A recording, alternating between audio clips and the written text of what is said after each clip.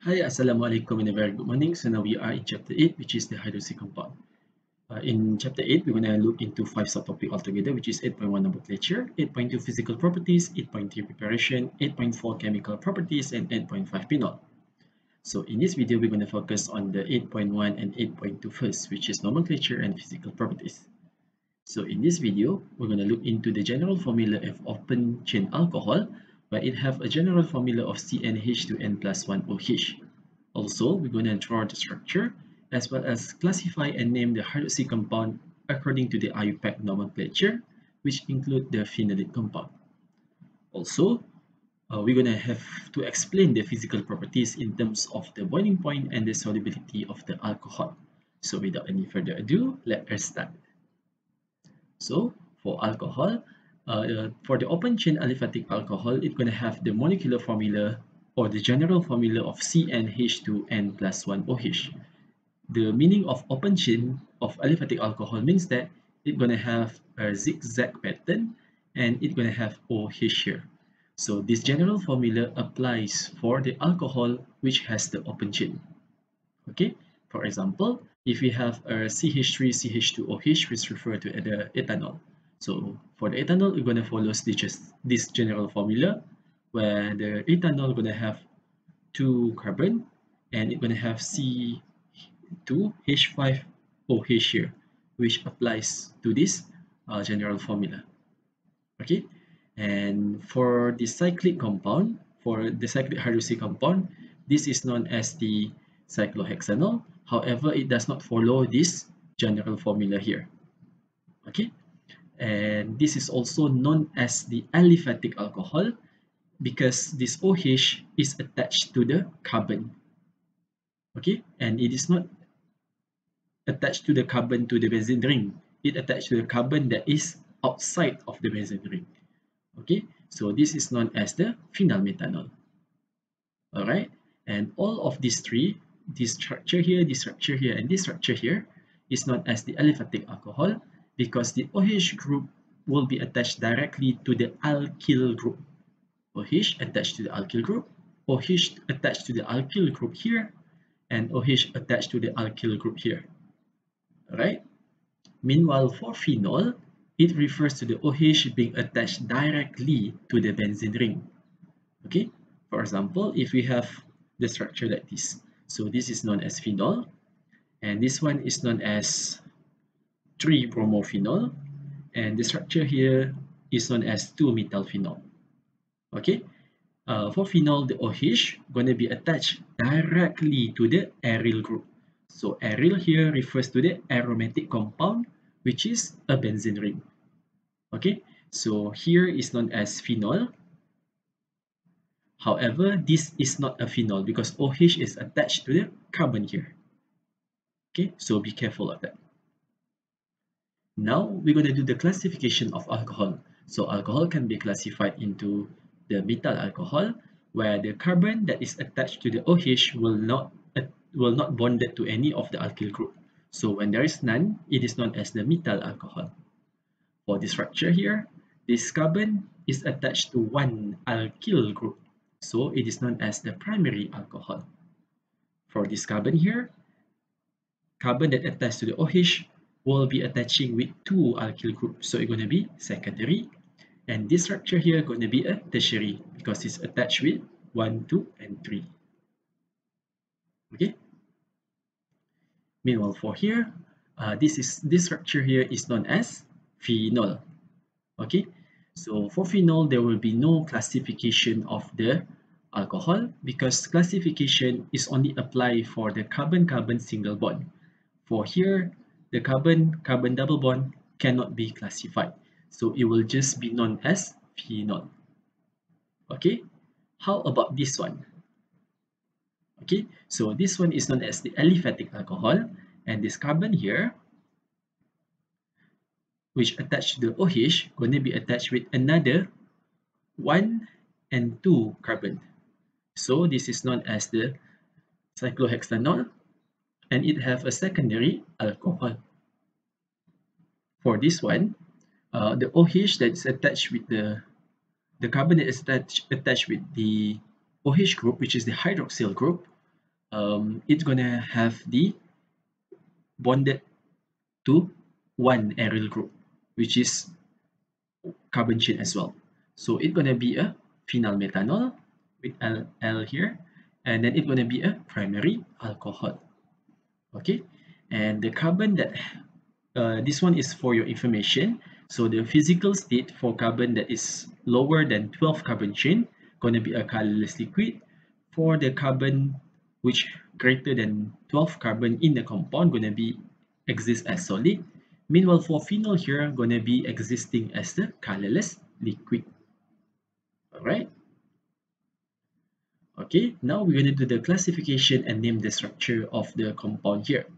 So for this first structure, the OH is going to be attached with the alkyl group. So we're going to find the longest carbon chain first, which is 1, 2, 3, 4. So the numbering should start from the attachment with the uh, hydroxy compound or the functional group here. Okay, so at carbon, uh, so the parent chain here going to be named as butanol because OH refers to the group of alcohol. Okay, and at carbon number 2, it's going to be attached with 1 and 2 methyl group. So it's going to be 2, 2 dimethyl. And OH going to attach at carbon number 1, right? So it's going to be 2, 2 dimethyl, 1 butanol. So it's a this one here is a primary alcohol because this carbon here attached with one big alkyl group here.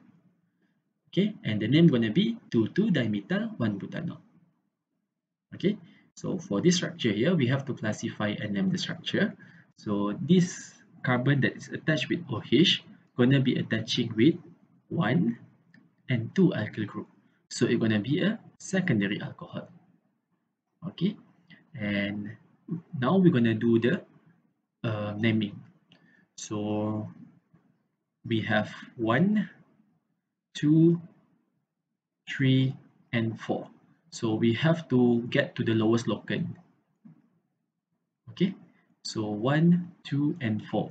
We cannot do the naming from 1, 2, 3, 4, 5 because or else the set of locant gonna be 9 here. If I use this way, which is 1, 2, 3, 4, my set of locant gonna be 7. So that is why I'm following this way. Okay. So now um, my parent chain going to be this one, which is refers to a cyclopentanol. Okay, cyclopentanol.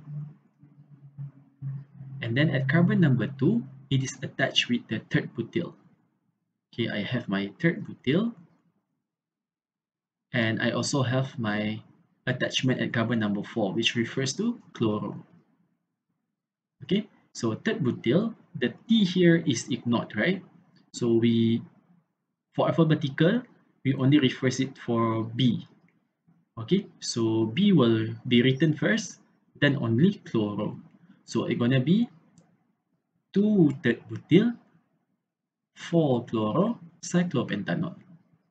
Alright, so if I were to write it nicely, I will get it as 2 tert-butyl, 4-chlorocyclopentanol. Alright, now for the structure down here, um, this is the same as the naming of the benzene, where the OH attached to the benzene ring is known as phenol. Okay, so here refers to a phenol, and then you're going to do the numbering. So number one here, number two, number three, number four, and number five. Okay so 2 and 5 here. So the same one which is you need to select the lowest set of locant 1 to 5 gonna be 8 so you cannot use this way.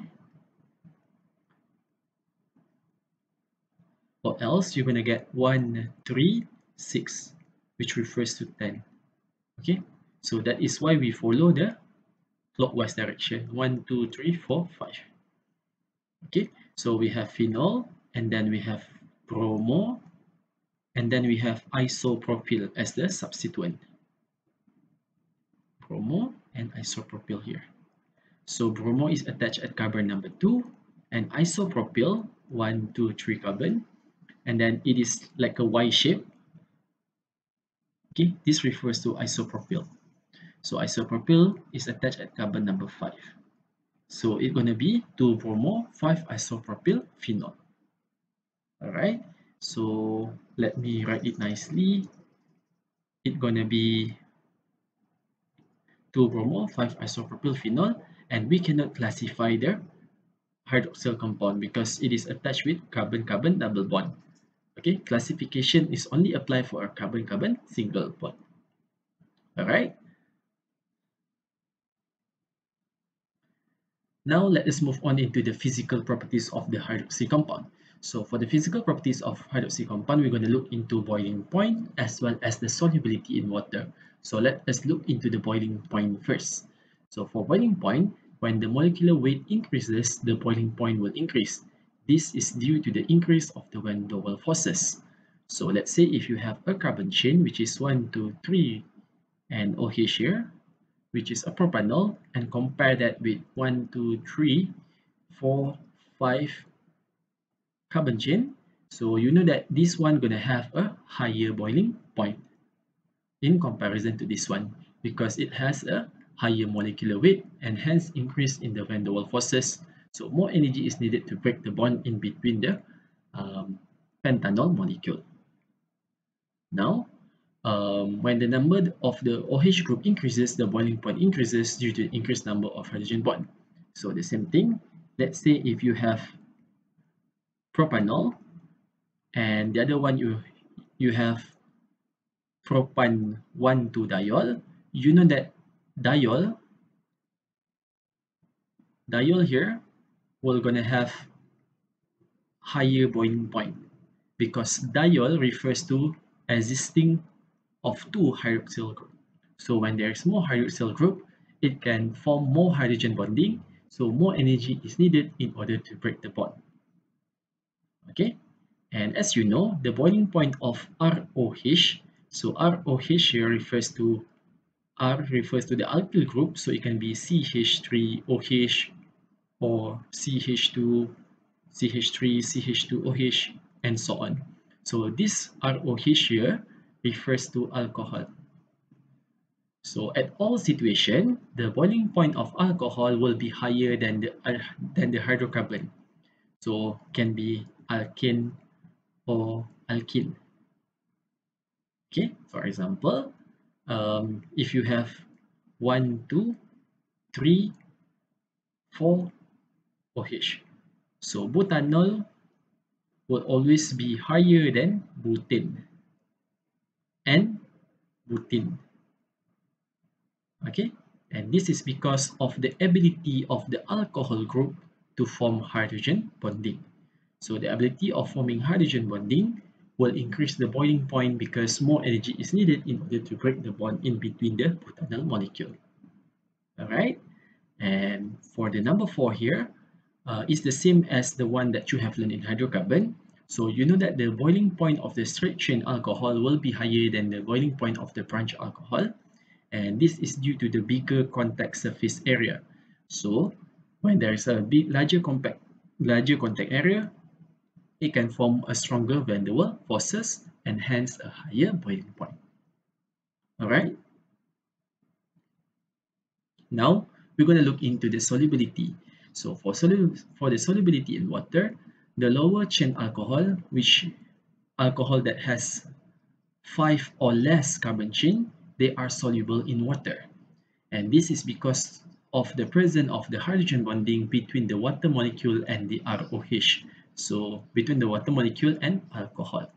So as what you can see here, the alcohol can form hydrogen bonding with water molecule. So the ability to form hydrogen bonding will make the alcohol to be soluble in water. Okay, and the hydrogen bonding is formed in between the molecule. So it is an intermolecular forces di antara dua molekul, bukannya di dalam. Alright, and this refers to the hydrogen bonding. However, the longer carbon chain alcohol, yang alkohol yang mempunyai lebih daripada 5 carbon chain will be insoluble in water. Okay, and this is because the non-polar or the hydrophobic alkyl group is too large to be dissolved in water. So you will have your alkyl group, for example, CH3 OH, and maybe you're gonna have like CH2, CH2, CH2, CH2, CH2, CH2, OH here. Okay, for the CH3OH, it's gonna be dissolved in water. However, for the carbon chain that is longer than 5, for example, this one gonna be 1, 2, 3, 4, 5, 6, 6 carbon chain, it will not be dissolved in water because of the presence of the alkyl group here. So the alkyl group here gonna be hydrophobic. Okay, hydrophobic means phobia, phobia dengan air. So it is very less likely to dissolve in water. Okay, so R here will have the hydrophobic part, which is weak interaction. Meanwhile, the OH group here gonna be um, is a polar group, so it's gonna form a stronger hydrogen bond with water molecule. Okay, so longer than 5 carbon gonna be insoluble, lesser than 5 gonna be soluble. However, for the ROH with the same number of carbon atom, when the number of the hydroxyl group increases, the solubility increases due to the increase in the number of hydrogen bonding. Okay, so let's say if the, if you have the same carbon chain, however it has more hydroxyl group, it will be more soluble. Okay, the same concept as ethanediol and ethanol. So lagi banyak hydroxyl group, lagi mudah nak dissolve. Okay. Now we're going to do one example. So example here, it, they ask us to arrange the solubility of the structure A, B, and C according to the boiling point and the solubility in water. So the structure A here uh, will have one hydroxyl group. Structure B here going to have one and two hydroxyl group. Structure C going to have one, two, and three OH group. Okay.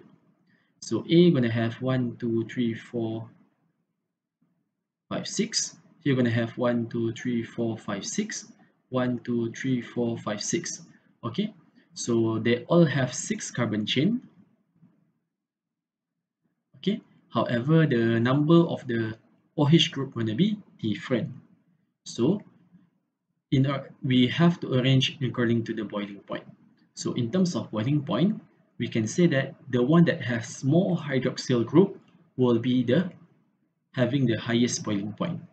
So boiling point of carbon, uh, boiling point of C will be greater than B and greater than A because more hydroxyl group will form more hydrogen bonding and hence more energy is, is needed in order to break the bond.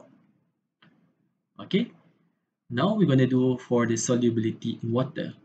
So as mentioned, more hydroxyl group can form more hydrogen bonding and hence uh, it is more soluble in water.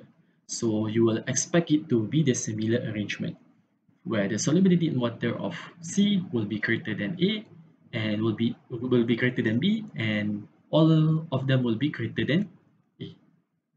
Alright, so I think that's all for today's video. See you again some other time. Bye.